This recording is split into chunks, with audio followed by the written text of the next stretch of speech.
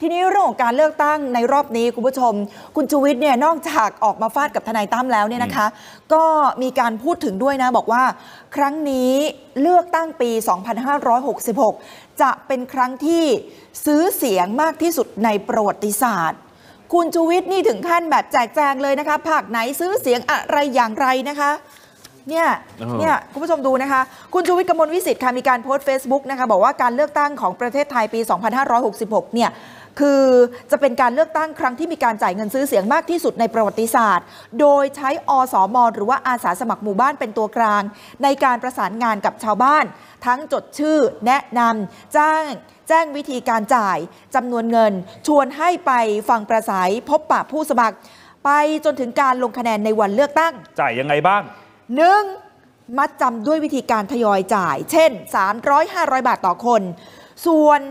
อีกส่วนหนึ่งค่อยไปจ่ายกันก่อนวันเลือกตั้งใช่เพราะว่านี่มัดจำใช่ไหมเสร็จแล้วก่อนวันเลือกตั้งไปจ่ายให้สองจ่ายบอกให้มาร่วมฟังนโยบายแบบวงย่อยหน่อย อันนี้ให้ร้อยถึง300บาทค่ะสามจ่ายให้ไปฟังปราศัยใหญ่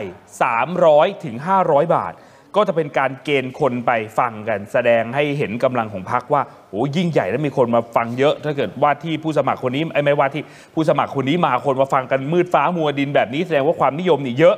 4. เช็คจำนวนคนที่ลงคะแนนเนื่องจากในแต่ละหน่วยเลือกตั้งมีคนไม่เยอะ เงินที่จ่ายให้ชาวบ้านก็เลยเบี้ยวยาก 5. การให้เนี่ยไม่ได้หมายความว่าจะได้แน่นอนนะครับ เพราะคู่แข่งขันอาจจะให้มากกว่า เช่น ตั้งเป้าให้พันหนึ่งต่อหัว แต่ไปเจอคู่แข่ง พันห้าหรืออาจจะเกทับให้ 2,000 ไปเลยก็คือมากขึ้นเท่าตัว ก็มีชาวบ้าน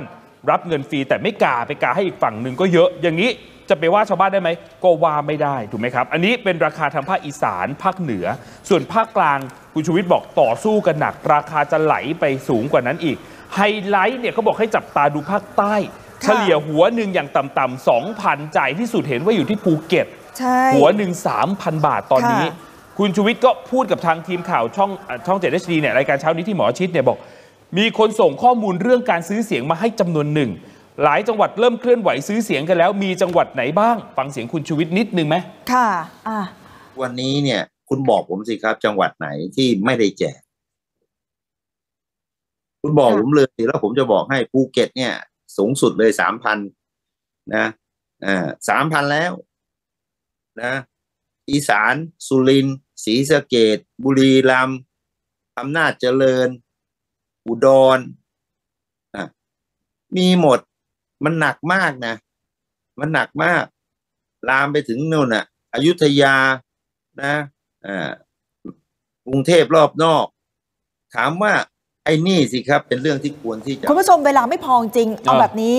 ติดคุณผู้ชมไว้เดี๋ยวพรุ่งนี้ให้ฟังเสียงของคุณชูวิทย์นะคะ ซึ่งดิฉันเนี่ยฟังแล้วเซอร์ไพรส์มาก สูตรในการจัดตั้งรัฐบาลพักเพื่อไทยจะรวมกับพักกอไก่พักเนี้ยซึ่งเป็นพักที่คุณผู้ชมเนี่ยคิดไม่ถึงเลยว่า เฮ้ย จริงเหรอ จริงเหรอ คุณชูวิทย์บอกว่านี่เป็นข้อมูลเชิงลึกที่คุณชูวิทย์ได้มา คุณปุ้ยคุณรอดู 14 หลัง 14 พฤษภาแล้วกัน ถ้าคุณไม่เชื่อผม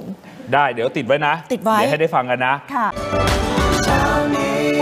听不清